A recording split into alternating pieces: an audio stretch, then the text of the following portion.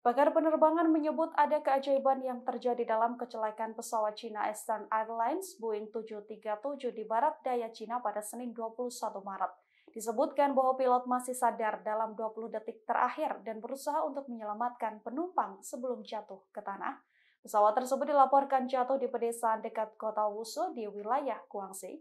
Dikutip dari Daily Mail, pesawat Boeing 737 tak bisa menghindari kecelakaan seusai pesawat tiba-tiba menukik tajam dan jatuh 30.000 kaki dalam 2 menit dan langsung menghantam tanah.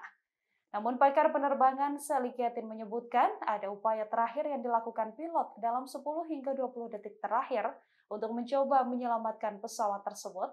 Ia pun mengungkapkan bahwa upaya itu adalah sebuah keajaiban 10 detik terakhir Diungkapkannya efek kejut dari tukikan tajam pesawat sangat tidak memungkinkan seluruh penumpang dan awak di pesawat tersebut masih tersadar.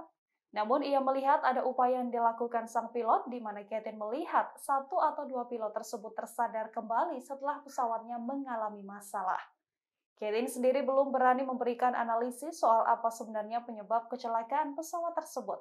Ia menduga berbagai masalah bisa terjadi di antaranya karena kerusakan ekor, atau mungkin kendala cuaca dan bisa juga karena adanya kebakaran kecil di bagian pesawat.